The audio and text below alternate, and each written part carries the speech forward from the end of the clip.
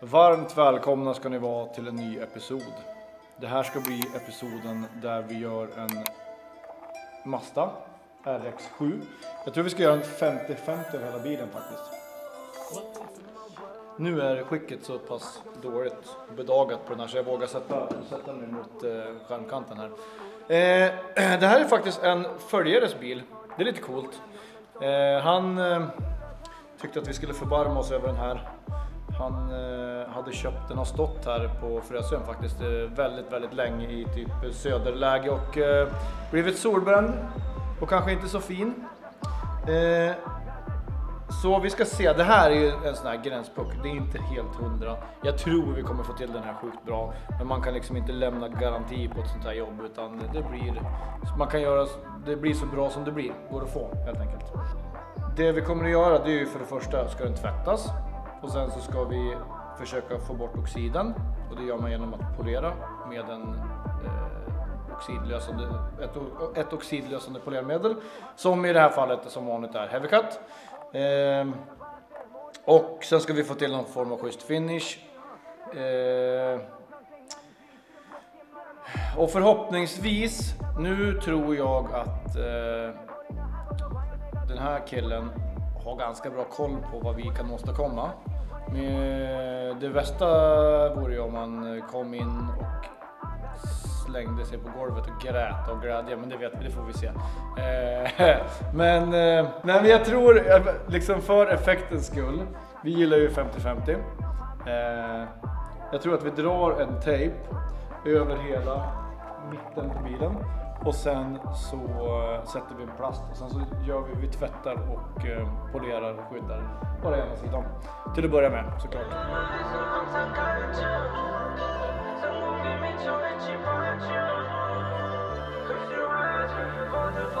Eh, nu har vi alltså gjort en 50-50 maskering här. Eh, mycket snyggt. Det brukar jag inte göra så ofta, ska jag tilläggas. Men vi gör det nu. Nu ska jag prova att, att tvätta här utan att, man, att det geggar över allt för mycket. Eh, den här slitna porösa lacken kommer jag börja och jag lägger på degreaser. Eh, ja men där det behövs. Degreaser Pro. Eh, fälgar, hjulhus under dörrhandtaget som vanligt. Eh, så länge det inte är en enkomponentslack så påverkas inte eh, alltså en sprayburkslack så påverkas inte färgen av det. Däremot det här, det här uppkommer när du tvättar en solid bil med en alkalisk, stark alkalisk avfettning. Vi kommer köra lite, en väldigt svag alkalisk avfettning här Eh, för att få bort alger och mossa och det är vaxrester och skit som ligger. Men då kommer jag blöta bilen först. Så jag kommer spola på vatten och sen lägga på alkalia. Kanske faktiskt svampa lite grann. Eh, även om det kanske är lite smuts som ligger kvar och tillför någon liten repa så, så kör vi så i alla fall. Och sen så spolar vi snabbt av. Låt det absolut inte torka in. Eh, ja, men vi sätter igång med det.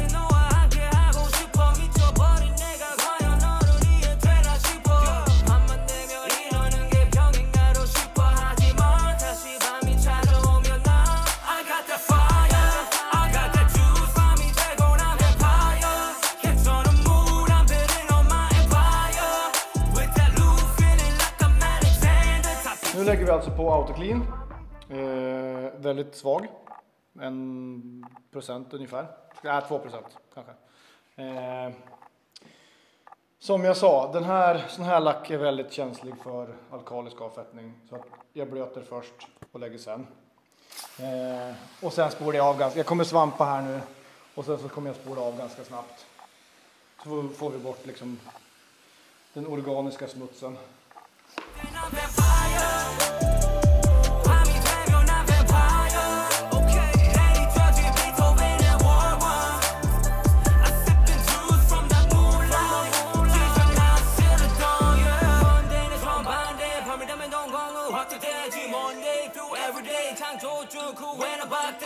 Eh, som sagt, man måste vara snabb i vänderna här. Det får inte torka in, även om det är svag alkalisk avfettning så är det jätteviktigt. Så nu spolar vi fort. Nu när den är blöt, det kan ju liksom ändå ge ett hum om hur pass röd den kommer kunna bli när man har polerat den. Eh, som sagt så inga garantier men eh, vår förhoppning är att den kommer bli väldigt, väldigt nice.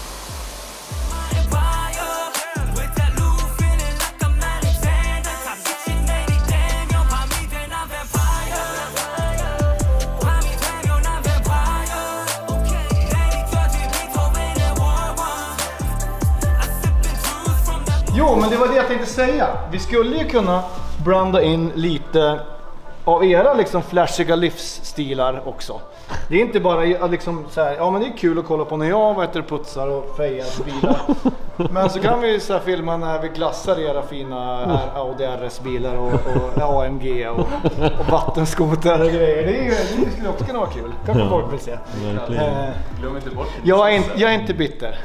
Nej. Nej exakt, men nu är sussen borta så det är därför det känns lite tufft. Eh, Nej men eh, nu torkar vi den här, då kommer den se lika eländig ut som den gjorde innan.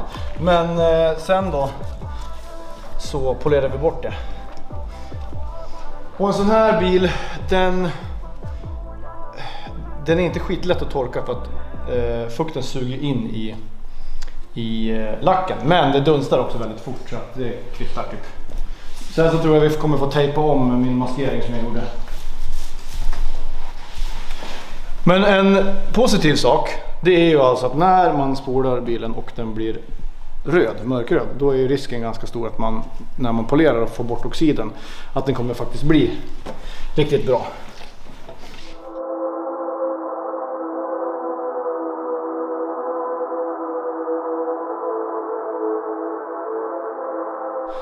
Då har vi äntligen kommit fram till första polersteget. Eh, Woolpad och Heavycut i vanlig ordning. Eh, det som är på en sån här bil, att oftast i alla fall så går det en jäkla massa trissor. Och eh, där har jag en hög med gamla otvättade trissor som jag eventuellt kommer att använda nu för att eh, slippa ta nya. Och sen så kommer jag nog slänga dem efteråt. Eh, för att de kommer att vara alldeles röda. Det går också lite mer polermedel när man ska ha bort oxid. Och sen så nu ska jag förbereda också, gå och hämta några dukar så att jag kan torka snabbt efter. Så jag lägger polermaskinen här så länge. Vi ska förtälja för er att eh, en sån här lack kan under oxiden är det ofta ganska lite färg kvar så att man får vara lite försiktig. Också är det så att jag kan inte lämna någon garanti på ett sånt här jobb. Det kommer nog bli jätteblankt men det kommer behöva underhållas eh, löpande. Det går att lägga keramiskt men jag tycker nästan att det är bättre att man lägger typ Polish and Sealant och hybrid för att eh, då kan du bättre på det så ofta du vill och det kommer behövas. Eh, så nu börjar vi med Woolpad och Heavycut som sagt. Och sen tar vi det lite grann därifrån så får vi se Får vi se hur mycket jobb det behövs. Men det, kommer, det går ju jättefort att lösa alltså första liksom, lagret oxid. Vi kan filma i realtid här nu så vi kör på en yta så får ni se. Yes. Let's go.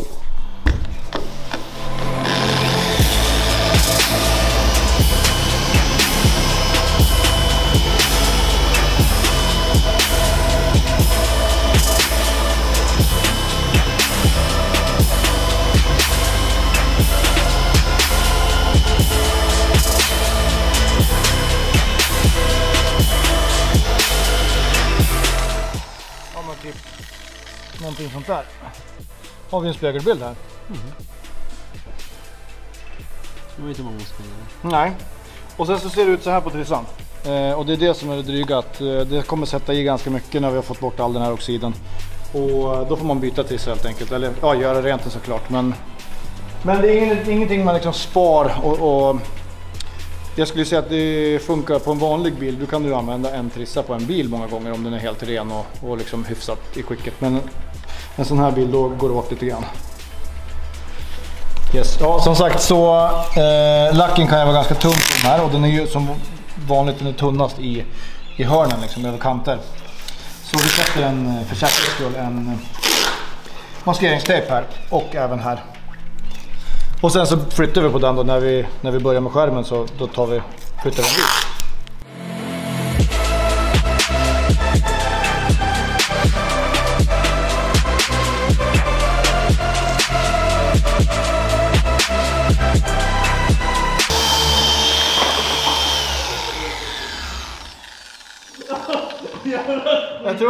Det, är något djur som håller på. Ja, bra att veta.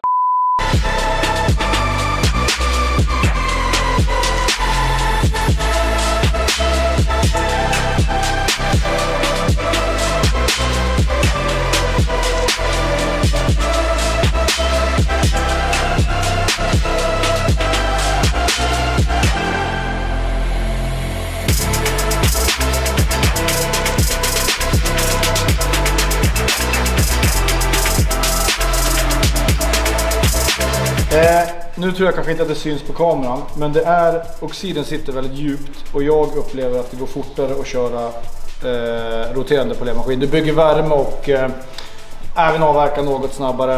Eh, du når samma resultat men det tar längre tid med eh, den oscillerande. Så nu har jag bytt till roterande. Så kör jag ett varv till eh, innan jag fortsätter bakåt.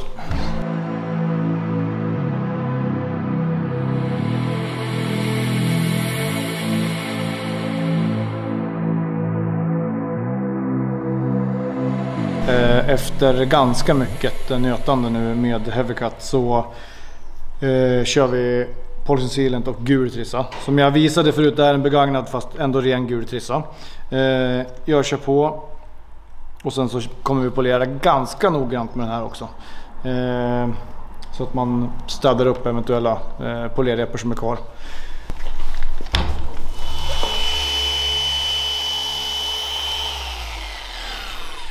Jag kan ju tillägga det också att det som tar nästan mest tid på såna här bilar det är alltså hörn och, och liksom ja, men såna här kanter och sånt. För att de är ju också blek och det går inte så här, det är inte som att polera en stor yta utan det blir mycket detalj, detaljjobb som är rätt störigt. Ja, nu har vi polerat det runt och det går ju sällan speciellt bra. Så vi ska prova att volda. Så, det gick bra. Det också. Oj. Det här är alltid spännande. Det här är så här, ja, 20 någonting år gammalt. Det gick alldeles utmärkt. År gammal plast. A-skydd det här ja. Mm. Men om det är någon som tänker att det inte blir en repig när du gör sådär. Jo, det kan den bli. Och så där kan den också bli repig när jag torkar bort det här smutset. Men vi ska ändå nu göra en lika noggrann polering under här som vi har gjort på resten. Så eh, någon liten repa, det som vi eventuellt tillför, det, kan vi, det är svårt att komma ifrån liksom. Det känns som att dagen börjar lida mot sitt slut och eh, jag har jättelite energi kvar. Vi håller på att lägga i lite nu och sen ska vi snart avslöja eh, den andra delen här som vi inte har gjort någonting med. Och det är rätt kul för att man har liksom lite grann glömt bort eh, hur den såg ut i morse. Så det kan ju bli en ganska bra skillnad. Men det känns också lite sisådär över att det har tagit typ en hel dag och gjort en halv bil som inte ens är färdig än. Det ska läggas ett toppskydd också. Nu håller vi på att fylla i här eh, stenskott. Det är några små skador. Det här är så här, den här bilen. Kan du inte berätta vart är Isusen? I Sussen den är eh, lite undanställd just nu för att eh, det står en RS6 där istället. Det är ju kanske inte helt och hållet ta den, den platsen men eh, åtminstone lite grann.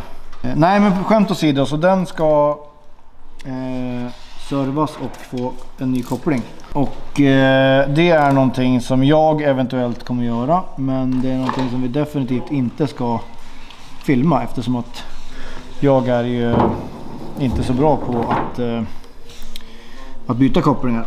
Även om jag klarar det till slut så kanske det blir väldigt, väldigt utdraget och eh, också dåligt humör. Så eh, ska vi se till att vi får fart på den, besikta den och sen kommer en episod då vi ska tvätta och polera. Och det blir jättekul för den kommer bli ungefär som den här. Sjukt stor skillnad. Nu gör vi som sagt en, en avrundning på, på det här. Eh, så vi tar och putsar lite rutor och putsar lite grann. Sen tar vi av eh, filmen, eller vad heter det, plastfilmen. Ja, men ska vi köra då? Ja. Ska vi avslöja? Ser, ser spänd ut Robin. Eh, Are you med? ready? Are you ready? Ett, två, tre, let's go! Oh la la la la la la. Men det här är faktiskt skillnad. Ja, men det är lite skillnad. Men du, kolla på... Ja, det ser jävligt bra ut. Bra jobbat. Ja, det där var ju kul. Nu är vi inte färdiga, men Nej, det är ju... nu blir jag halva bilen kvar. halva bilen kvar, lite till, men det är ju klart, klar skillnad. Nu får man faktiskt lite mer motivation när man... Ja, nej, då så. Nej, men då gör vi här. Det är fredag och så... Men då kommer vi tillbaks på måndag igen skulle jag tro. Mm. Och kör klart den här. Men det här var ju kul. Så ni får hänga på då. Trevlig helg. Ja, exakt. Hej och välkommen till eh, del två av den här, eh, den här episoden. Nu har det varit helg, fantastisk helg. Eh, nationaldagen eh, har vi haft. Det firar vi med pompa och ståt och eh, flaggan är i topp och så vidare. Eh, men så kommer vi tillbaks till det här. Och det vi har gjort är ju fantastiskt fint. Det är mycket kvar. Jag hade nästan glömt bort att halva bilen är kvar. Men nu ska vi ta tag i det. Eh, och det man måste komma ihåg också, det är att en solid lack, den, den vill ju hit. Om den står i UV-ljus så vill den till slut så oxiderar den och blir tråkig. Eh, så det vill till att man, man vaxar, man liksom underhåller, bättrar på UV-skyddet eh, på en sån här ofta. Eh, för att den ska hålla sig. Men vi fortsätter. Och sen så ska vi lägga då, då lägger vi, kör vi Polishing Sealant och sen så kör vi hybrid i slutändan. Så får vi det bra och så får ägaren helt enkelt se till att underhålla det här. Men det är bara att kötta på nu egentligen. Vi, vi sätter väl upp någon timelapse eller någonting sånt där så, så kör vi vidare. Så är den förhoppningsvis klar i eftermiddag. Det man ska tänka på när man kör en roterande polermaskin det är att den här eh, eh, alltså den tvingat roterande rörelsen är ju vansinnigt mycket mer aggressiv. Det blir en helt annan friktion mot lister och när du kör mot saker. Kör du en oscillerande maskin, fritt oscillerande, då kommer den ju i stort sett stanna när du belastas som hårdast mot någonting. Så att det är inte så alls lika noga att köra, alltså man ska ju alltid maskera men eh, risken att du förstör någonting är ju väldigt mycket större när man kör roterande. Eh, och speciellt om man inte är van så man kan få liksom, det kan dra i sidan ibland. Eh, så vi ser till att maskera noga. Då kan man försöka, man får överlappa lite lite grann. Eh, inte så att det liksom så att det ligger uppe på. Men så att det ligger ut lite grann så man kan, så man kan ta nageln och dra ner. Eh, så det blir som en, en kant. Så man viker ner den innanför. Men det är ju bara, och tyvärr så här saknar vi en liten, liten bit av listen.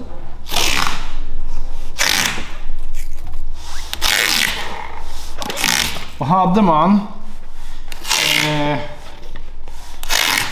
om det här var min egen bil och jag hade oändligt med tid, då hade jag plockat lös de här listerna. De här är limmade med eh, eh sån här dubbelhäftande.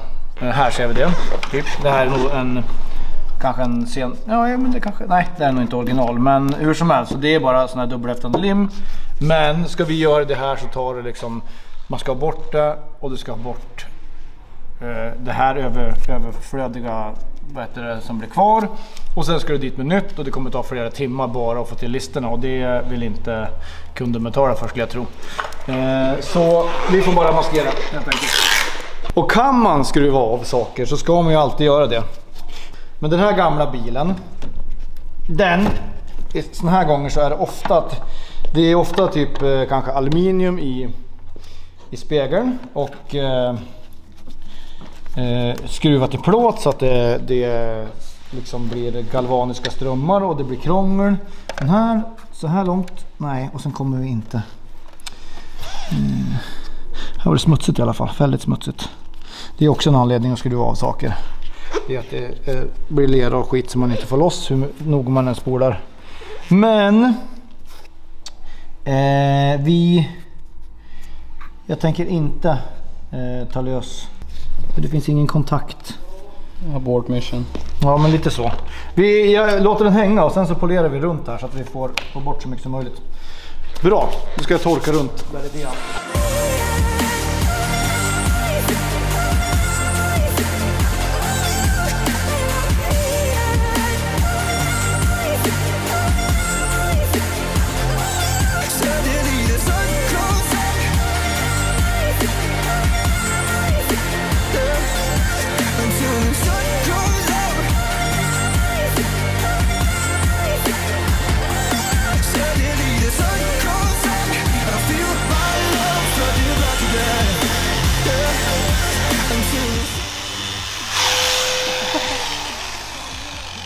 Lägga av Lägg av. Jag vill fortsätta. Vi vill visa nu att eh, Robin, min eh, lärjunge, han eh, har inte kört så mycket polermaskin alls förut, eller hur? Nej. Och det är, det är, du sköter det ju rätt hyfsat. Det man ska tänka på här, det är att man... Alla kanter, på kanterna är lacken som tunnast kan man säga generellt. Och ofta när man kör då trycker man liksom när man inte tänker på. Utan kör mot kanten hela tiden. Så att man kör hit och sen så kanske man kör dit. Så. Så att man jobbar liksom så och så. Så att man slipper och, och sen får man köra av lite försiktigt då på, på höjderna. Eh, även där uppe. Och här har man ju också listen liksom att, att tänka på. Att man inte kör emot så att det blir så här. Eh, så här. Så då gummi. Nu är det bara gummi och det är en oscillerande maskin så det är bara att torka bort med lite isopropanol eller liknande surface prep så, så blir det bra. Eh, och sen här också kan du köra in maskinen. Eh, men tänk på samma sak där, att du inte liksom lägger trycket över kanten. Utan man får försöka att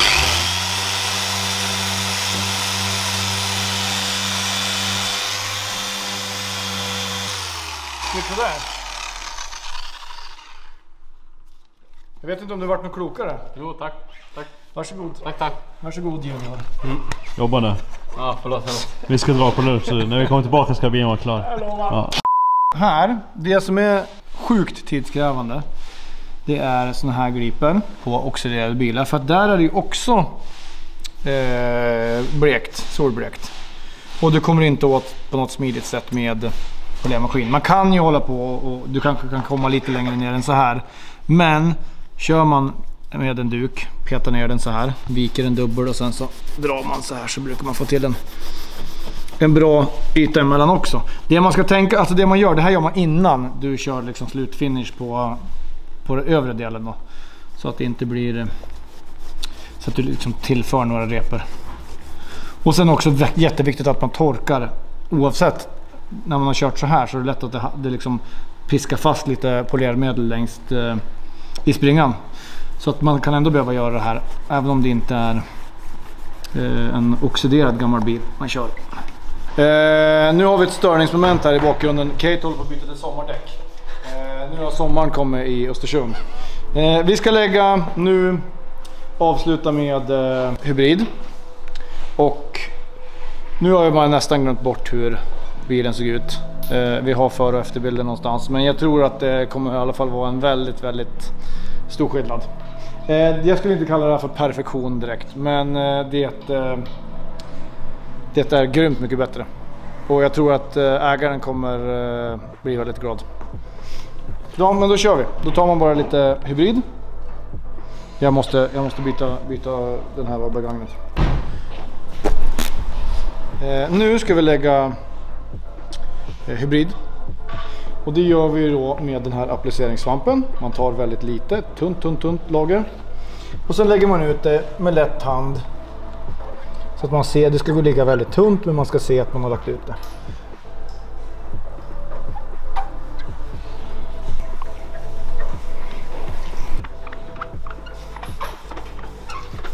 Men vi lägger på här nu då, sen så kan vi visa när vi torkar av. Nu så är det dags för oss att torka av eh, hybridvaxet. Det är eh, pålagt i ett hyfsat symmetriskt mönster. Men eh, det man gör det är att vi lägger inte för stor, vi lägger inte hela bilen utan jag har lagt huven och fronten och här uppe. Eh, och sen är det bara att torka av lätt på hand. Vika undan när det börjar liksom bli minsta lilla mättat. Ja, nu ska vi alltså eh, snart lämna över den här bilen till, till sin ägare. Och eh, då får han liksom ta över vårdnaden. Eh, som jag sa tidigare att en sån här bil det kräver ju liksom löpande underhåll och kärlek. För, förslagsvis då med hybrid eller med polishing. Som liksom återfettar lacken. Ja, nu har, vi, nu har man ju gjort det här några gånger. Så att, och sen så glömmer man ju alltid. Nej, nu kommer jag inte ihåg hur den såg ut när, den, när vi började. Men eh, det här är ju nice. Eh, vi lämnar nu över den här med varm hand till ägaren. Jag tror att han kommer bli jättenöjd. Eh, han kommer få fortsätta att eh, vårda den här med eh, Policy Sealant, eh, köra bort liksom någon gång per sommar får, får man eh, underhålla. Man får vara försiktig med alkaliska rengöringsmedel, alltså basiska. Eh, och eh, ja, men det var väl typ allt.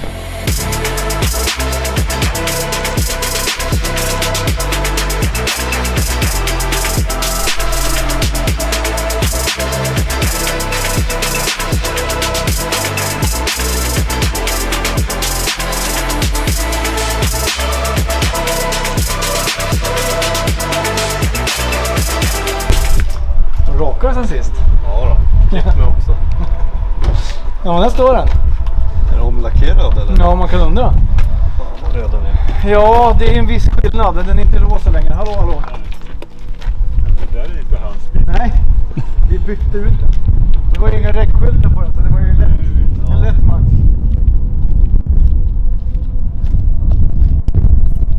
Helvete. Ja. Jag kan knappt tro mina ögon.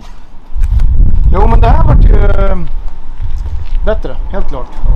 Men nu har du ju som sagt underhåll att göra också. Det är ju en sån här förseglar man ju inte för all framtid utan det är bara att fortsätta putsa.